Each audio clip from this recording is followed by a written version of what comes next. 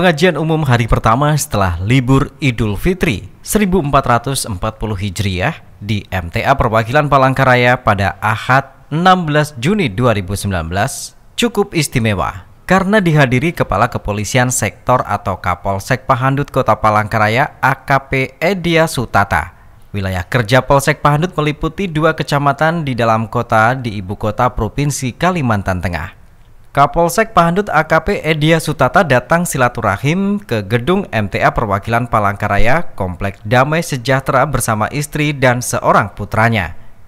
Sebelum bersama-sama warga lainnya menyimak pengajian yang disampaikan oleh Ustadz Suwito selaku guru daerah, Kapolsek Pahandut menyampaikan beberapa pesan.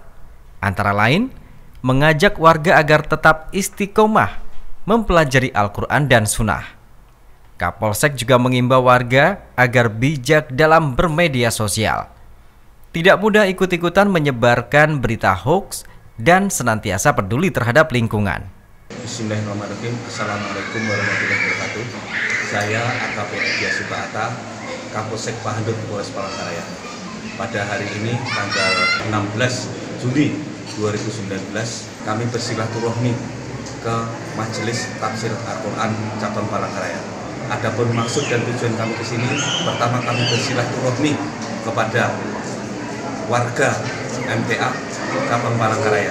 Kedua, kami akan mengajak kepada seluruh umat muslim yang ada di Indonesia, khususnya yang ada Palangkaraya ini, untuk dapat beristiqomah mempelajari Al-Quran dan As dan Sunnah.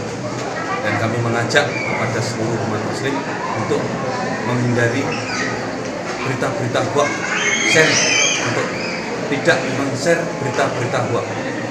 Kemudian kami mengajak kepada umat muslim yang ada di Palangkaraya ini, khususnya warga MTA cabang Palangkaraya, untuk kita aktif, kita tidak pasif atau kita tidak harus peduli terhadap lingkungan.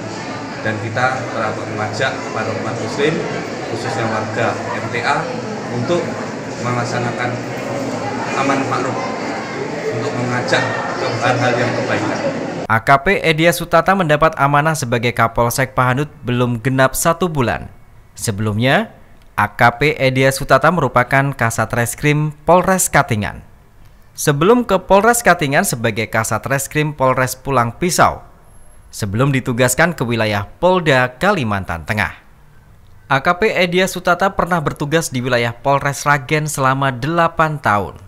Ketua Perwakilan Palangkaraya Yogi Prima Perdana SE menyambut baik kunjungan silaturahim Kapolsek Pahandut. Dia berharap melalui kunjungan ini dapat memperlancar kegiatan dakwah Islam. Terima kasih atas kehadiran Bapak Kapolsek Pahandut, AKP Diasudahata. Semoga kehadiran beliau menambah silaturahim dan kemanusiaan Islam di khususnya di Kecamatan Pahandut, Kota Palangkaraya. Dari Palangkaraya, Sudiono, Kalteng TV.